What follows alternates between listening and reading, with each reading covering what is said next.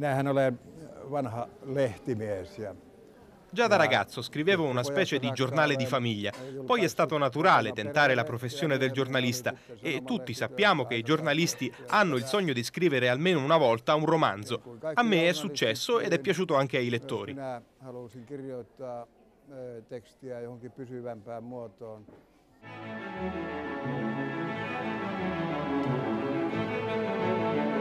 kirjoittaa ö, tekstiä johonkin pysyvämpään muotoon. Sankarin ja nämä ihmiset ovat todellakin È vero che i protagonisti e i personaggi in genere dei miei romanzi sono degli outsiders, ma non sono delle figure eccezionali.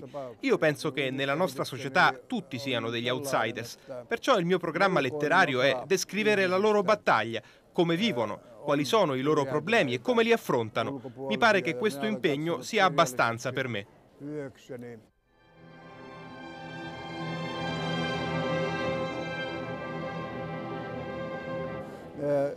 Sanoisinko kirjallinen lahjakkuus tai lukuhalu Non si può pensare che la qualità letteraria dipenda dalla quantità degli scrittori.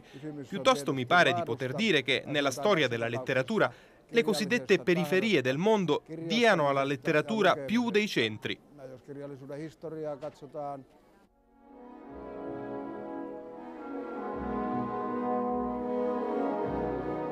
mm, suomalaiset ajattelevat aika yleisesti. Generalmente in Finlandia la gente pensa che ora, come membri dell'Unione Europea, siamo più indipendenti rispetto a tutto il corso della storia della nostra nazione. Prima c'era il peso della Svezia, poi della Russia e dopo ancora la catena con l'Unione Sovietica.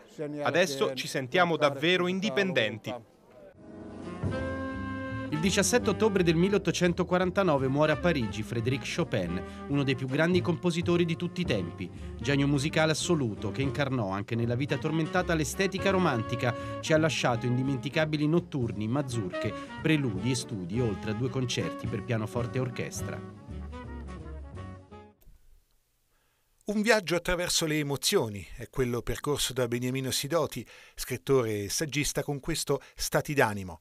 Un viaggio, appunto, immaginato come fosse reale, come se il lettore attraversasse per davvero a piedi il suo io più profondo, con le sue sfumature e i suoi simboli, quasi fossero luoghi meravigliosi da visitare. Noi le emozioni le attraversiamo, quindi ho voluto descriverle eh, come delle cose che potessero trasformarsi e trasformarci, come un qualcosa che si passa, per cui dalla rabbia si passa alla solitudine o alla passione e così via.